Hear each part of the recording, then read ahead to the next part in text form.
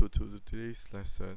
Um, today we are going to show you how to insert some useful components that was previously designed by me into your artifact. So uh, you normally like to put things like input and output devices and if you have uh, if I have already shared this folder useful components with you you can put pull in things that you might need okay? So I already put in two push button that is switches. So I'm going to show you how to put in the third okay? You can try clicking and dragging. If that does not work right click and insert into current design okay?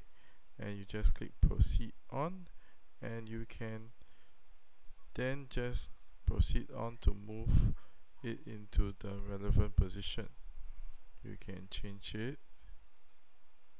Change the orientation. You can move it to where your component you want to be. Okay.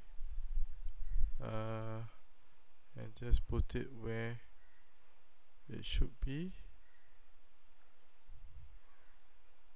Okay and can just plonk it in like this.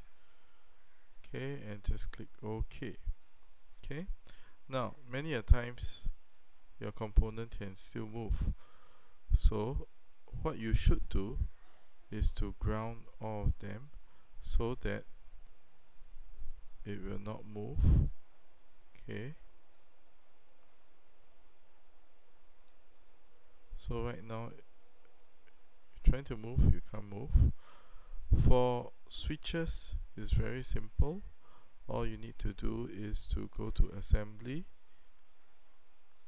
joints select the component that you want to do. Now let me zoom in.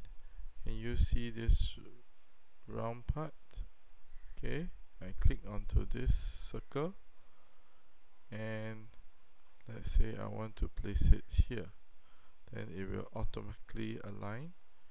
You might want to use Revert okay and you just click OK. Let's try again. This time round let's select assembly joint and click on this. And we will quickly join on to here. Okay and click OK. And we are done. Okay so that's today's lesson. Remember to save your work